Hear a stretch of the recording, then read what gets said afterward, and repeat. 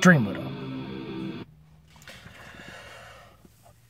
Uh, so, this project has something to do with a movie I've yet to see. And the fact that this album unfortunately had to come out just hours before the unfortunate timely de- untimely death of one Taylor Hawkins of Foo Fighters, which is where this is related. Why it's related in terms of Foo Fighters is because this involves Dave Grohl. This is not his first foray into the metal world. In fact, I recently just now months ago, after almost 18 years, though currently kind of 17 years, um, Probot was a thing. Apparently, he's also dirked with Tenacious D, of which Jack Black, a member of that band, was also involved in the Probot project. And he's apparently been said to have actually worked with Ghost as one of the Nameless Ghouls. So, as one of the guitar Nameless Ghoul guitarists specifically, I apologize for whoever's making the music that don't matter. Um, anyways, as far as this is, this project is only eight tracks. Cold being one of the better tracks of this record, um, for sure that you kind of hear a little bit of, as well as the basically the one two three punch of this album to me is Encino, is of course Encino, which is more Napalm Deathy, sort of grindcore sort of just in your fucking face. I don't care for grindcore much. I don't like this track, and that's saying something. Cold is very much a lot of people are like from what I heard from uh, Metal Meltdown, he compared this more to early Crowbar, like early '90s, pre Broken Glass Crowbar, pre Broken Glass Crowbar. I wish they turned down, but anyways, pre Broken Glass Crowbar, uh, which, eh, having gone through the discography, yeah um, yeah. Um, more on that eventually. I will do a short thing on that one eventually when I get to talking about it. But for now, this record, I've, you know, given I had heard, it was better than like what we got from Foo Fighters recently, which this the basis of this is a fictional band within this movie, Studio Six Six Six Six, and it's the basis of the and some of the ideas that happen in this it's clear that it was supposed to come out last month around February 22nd. This has come out in this past Friday instead, which is literally a month after because he wanted to finish this up and he missed some deadlines. Dave Grohl did. I feel like it was worth whatever wait that it was. I wasn't, whenever it was going to release, I was expecting whatever we got since March of the Insane, which is, they were saying it was Death Thrash, but that's far not accurate. Rather, it's more of a. It has way more other elements, Black and Doom, uh, all these other things going on for it. Um, but it's just it's got more, and even to the extent of the sludge doom kind of thing, which is what Cold is to me. Um, of the Insane, I guess, matches the Death Thrash aspect.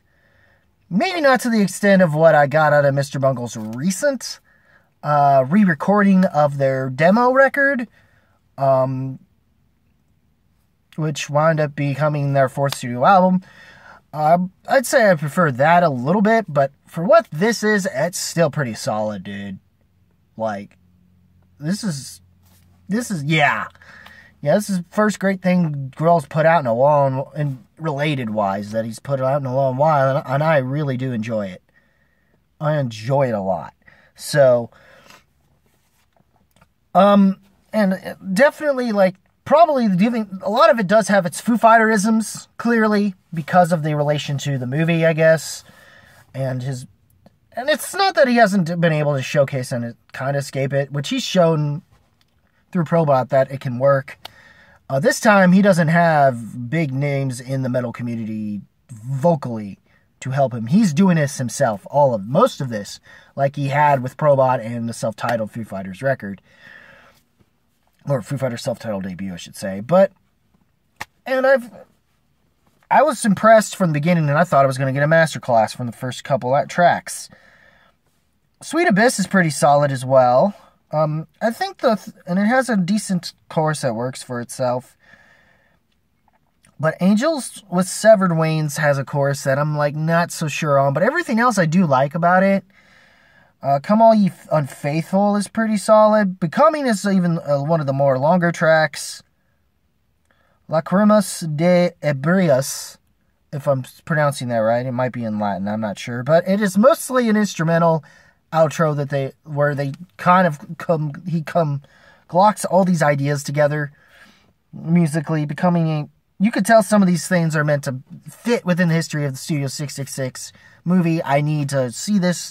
From what I hear, that movie's a bit niche. I had a feeling it would be in the sense that it was meant for Foo Fighters fans, or at least any Foo Fighters fans that understood that their sense of humor can align pretty well with Tenacious D's.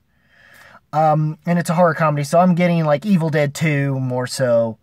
Uh, which has more of a sense of humor than whatever Evil Dead itself was, from what I hear. That Sam Raimi era Evil Dead 2 and maybe Army of Darkness uh, to an extent meets meets like Pick a Destiny in terms of like the kind of humor that's brought in. Um, is what I get from the, uh, the idea of that movie, and from what I hear, it's pretty much that. Uh, for the most part, this album though, I, I overall this album freaking rocks. I want to say it's masterclass, but or at least I was hoping it would be.